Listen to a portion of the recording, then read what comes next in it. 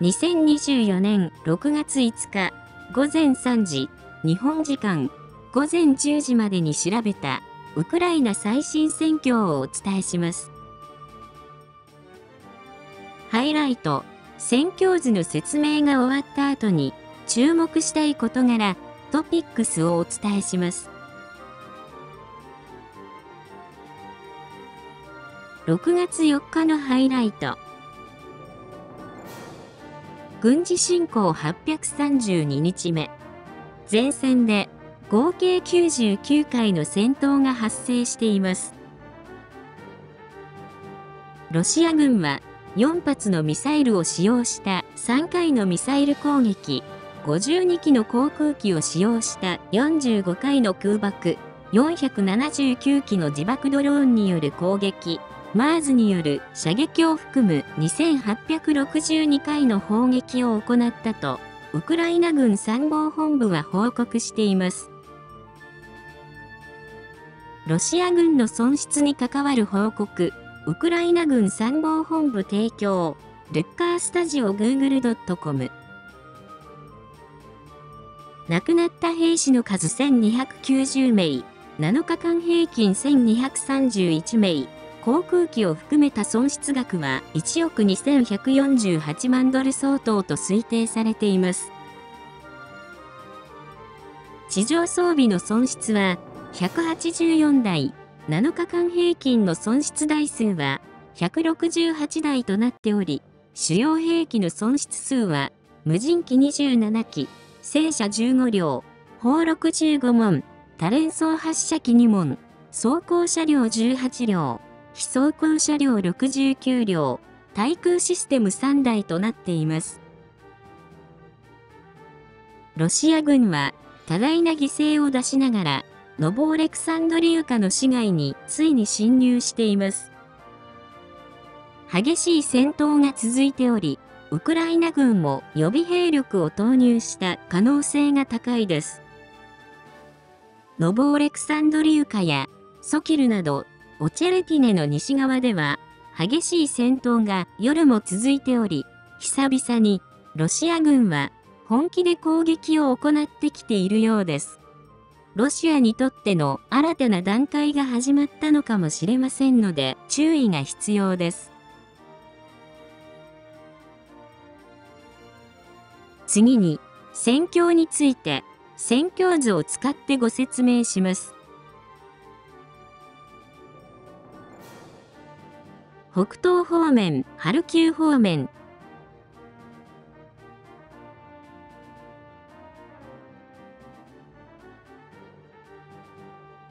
この方面の戦闘地域に地図を拡大します。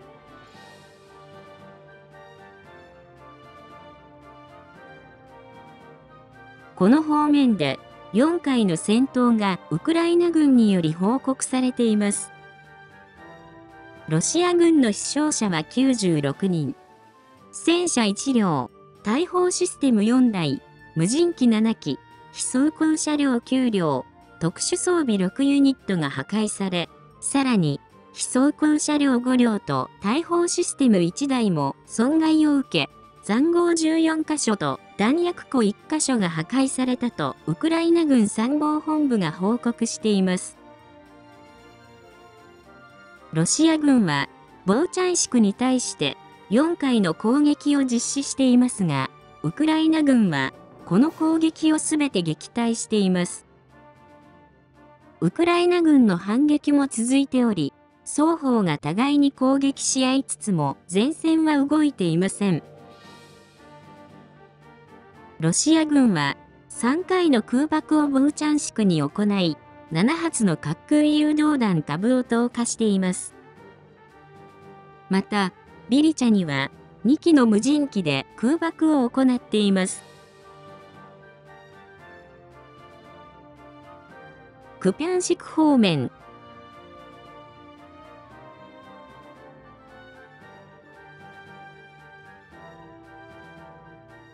この方面で10回の戦闘がウクライナ軍により報告されています。ロシア軍はシニキウカに対して8回もの攻撃を繰り返し行ってきています。ここ数ヶ月で最も多くの攻撃を行ってきていますが、攻撃はすべて撃退されています。ペトロパブリウカに対しては、北から攻撃を行ってきていますが、ウクライナ軍の防衛線を突破することはできず撃退されています。ステポバ・ノボサリウカに対しては、キスリウカの方向から攻撃を行っていますが、この攻撃も撃退されています。スバトベ方面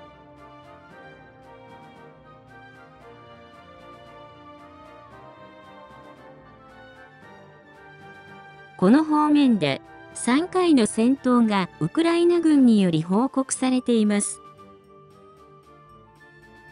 ベレストビ近郊のウクライナ軍陣地に対して1回攻撃を行っていますが撃退されています。ステルマヒウカに対してもロシア軍は1回攻撃を行っていますが攻撃はすぐに撃退されています。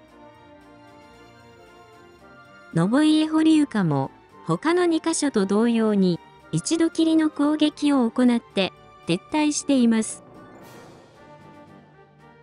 この付近のロシア軍は失った戦力の補充をしながら威力偵察を行っているようです。クレミンナ方面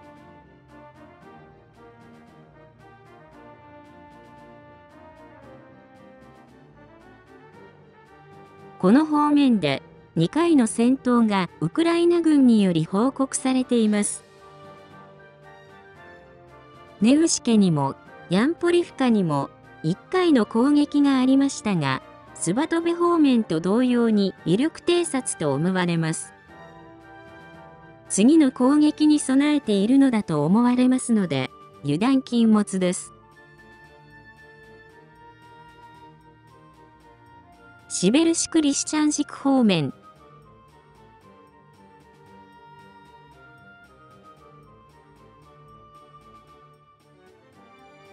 この方面でビロホリウカに対して1回の戦闘がウクライナ軍により報告されています。ロシア軍は撃退されており、この方面では他の地域に攻撃はありませんでした。東部バフムト・アルチェモスク方面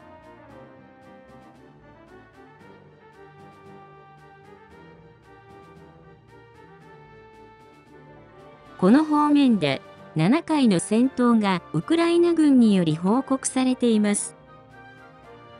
拡大図でチャシュヤール地域の戦況についてご説明します。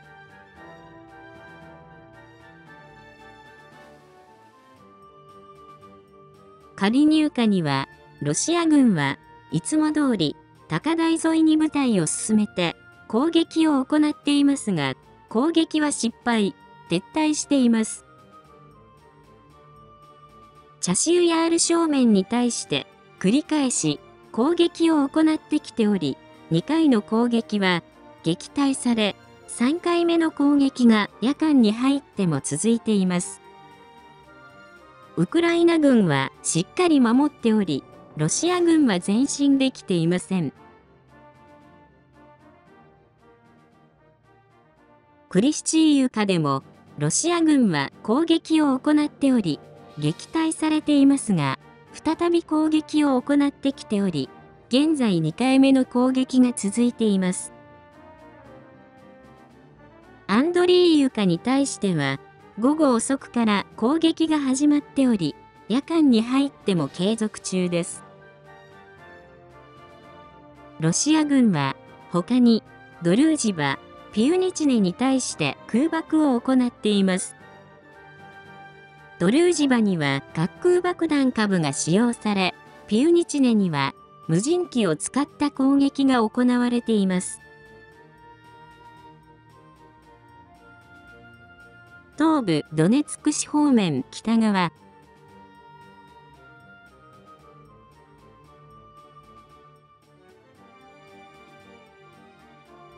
この方面で37回もの戦闘がウクライナ軍により報告されています。夜10時30分の時点で27回の攻撃が撃退され、10回の戦闘が夜に入っても続いています。拡大図で戦況図北側の戦況についてご説明します。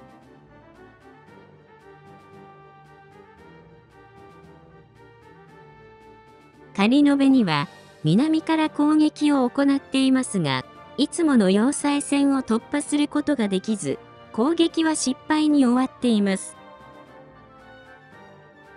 ノボオレクサンドリウカには航空支援を受けながら10回を超える激しい攻撃が続いており、ロシア軍はノボオレクサンドリウカ郊外のウクライナ軍陣地を突破して市街に突入することに成功しています。町は市街戦に入っており、町の東側の一部を占領したロシア軍は、さらに西に向かって進もうとしており、激しい戦いになっています。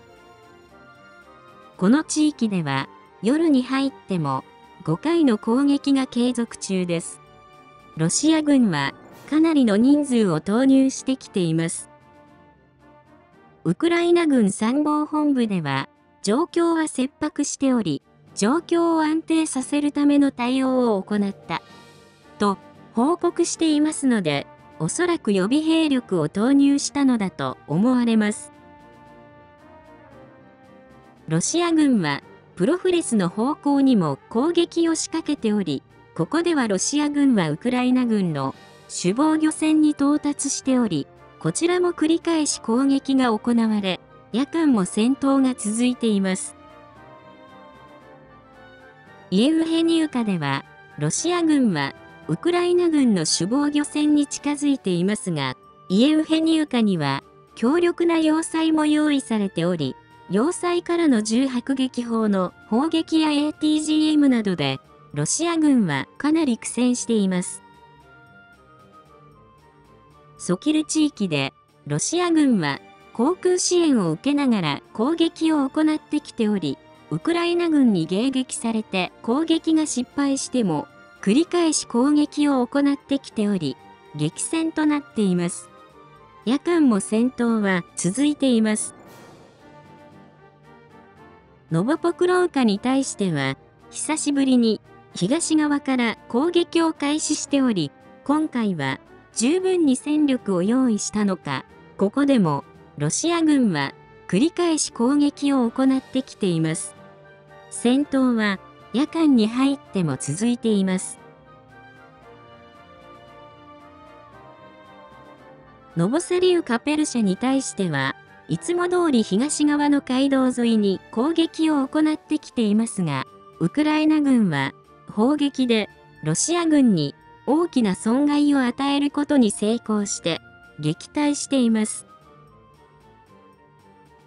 ウマンシケから西に向かっているロシア軍は、スクーチネ郊外のウクライナ軍陣地に何度か攻めかかっていますが、攻撃はすべて撃退されています。ロシア軍は、オチェレティネの西に新たな旅団を投入して、激しい攻撃を行ってきています。特に、ノボオレクサンドリウカとソキルで激戦となっています。ロシア軍は夜通し攻撃を続けると思われ、ウクライナ軍も予備兵力の投入や新たな予備兵力の準備を行っているようです。ロシア軍は他にアルハンヘリシケに3発の株を投下し、ノボサリウカペルシャには無人機による空爆を行っています。東部ドネツク市方面南側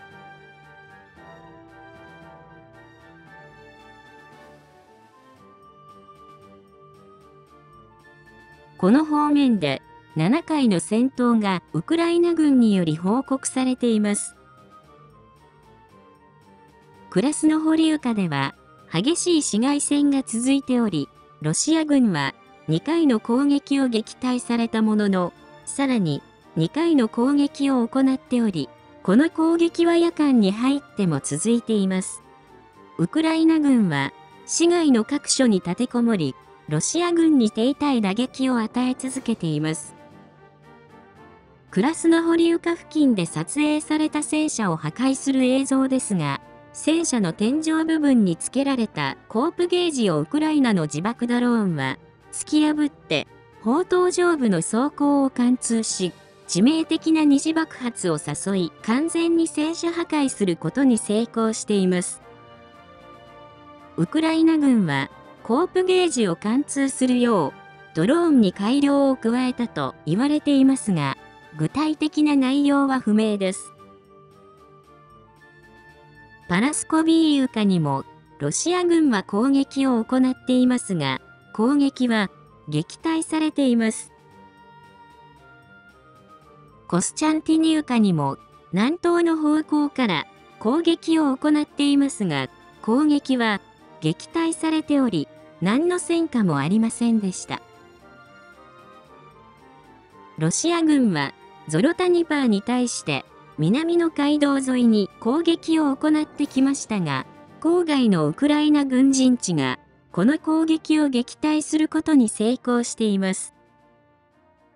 久々の攻撃でしたので、ロシア軍は威力偵察を行ったものと思われます。ロシア軍は他にボジャネに対してカブト無人機で空爆を行っています。南部ザポリージャ州方面ベリカ・ノボシルカ攻撃軸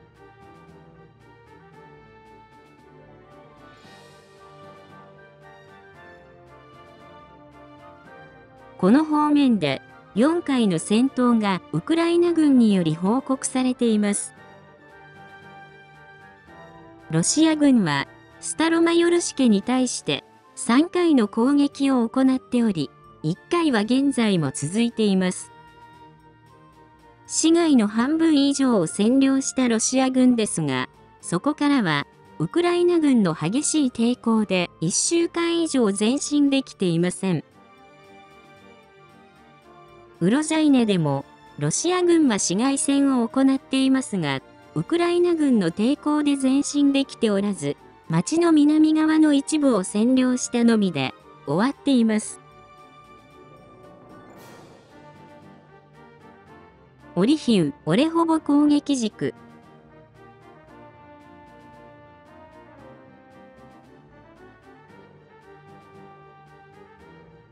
この方面で5回の戦闘がウクライナ軍により報告されています。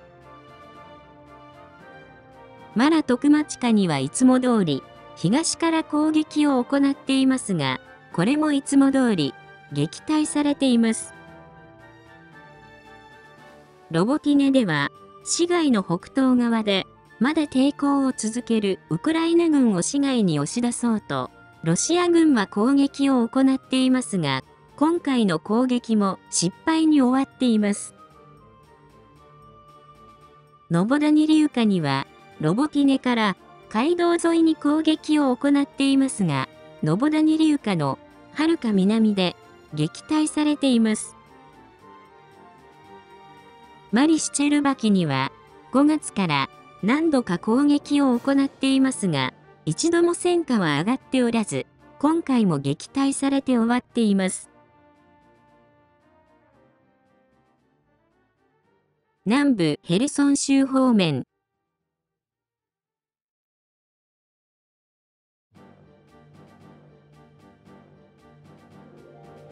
この方面でロシア軍はクリンキ教東保に対して2回の攻撃を行いましたが攻撃はすべてウクライナ軍守備隊により撃退されています。ロシア占領地、領内での戦況。ロシア領のベルゴロド地域では、変電所が被害を受けたと伝えられていますが、詳しい情報は分かっていません。ただ、ご覧の通り、画像は届いていますので、被害が出たのは間違いないと思われます。次に注目したい事柄です。ロシアの捕虜の扱い方を見てみましょう。ウクライナ軍人、ローマン・ホリリク氏は、5月31日に帰国しました。彼は、チェルノブイリ原子力発電所を守る周兵の一人で、2022年3月に捕虜となりました。彼がいかに飢えているかがわかると思います。彼の体は骨と皮だけになっています。本当にひどいシベリア抑留で日本人がひどい目に遭った時と何も変わっていません。シベリア抑留から80年経ってもやっていることが同じで、ここまでひどいと、ロシアの人々には悪いですが、国の政治体制とかの問題ではなく、国民性なんだと思ってしまいます。ロシア、中国、イランは西側諸国に対しテヘランとの核合意を更新するよう求めました。西側は政治的意思を示し、イランとの核合意包括的共同行動計画、ズクポアを回復するための措置を講じる必要がある。これは国際原子力機関 IAEA 第6回理事会の議題の一部として発表され、ロシア、中国、イランによる共同声明で述べられています。この核合意は、オバマ政権の時に締結されましたが、トランプ政権の時に米国が離脱し、イランに対して再制裁を行っています。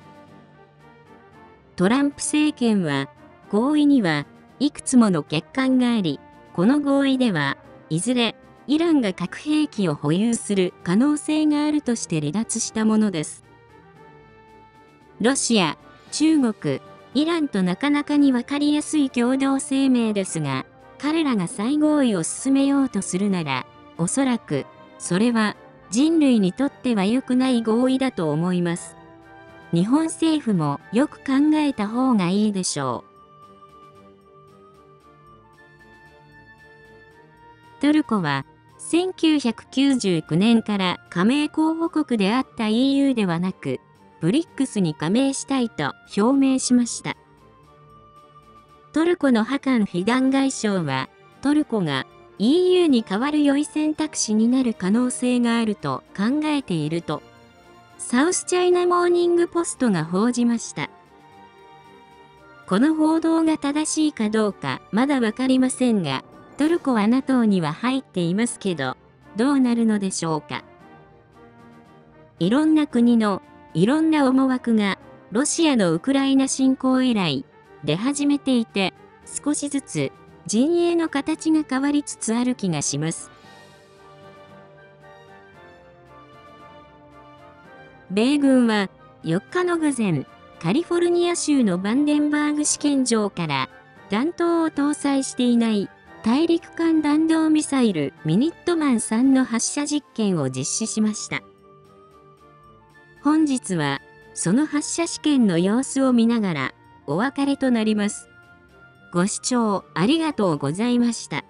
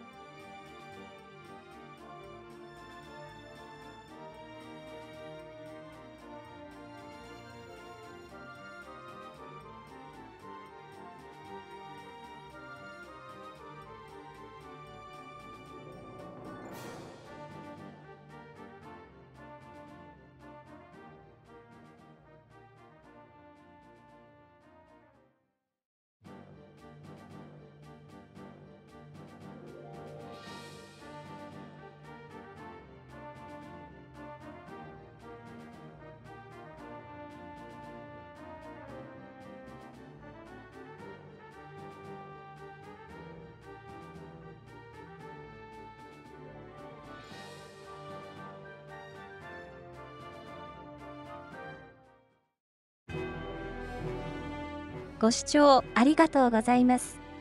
今回の新防衛研究チャンネルはいかがでしたでしょうか？今後とも新防衛研究チャンネルをよろしくお願いいたします。コメントやチャンネル登録もどしどしお待ちしております。次回もお楽しみに。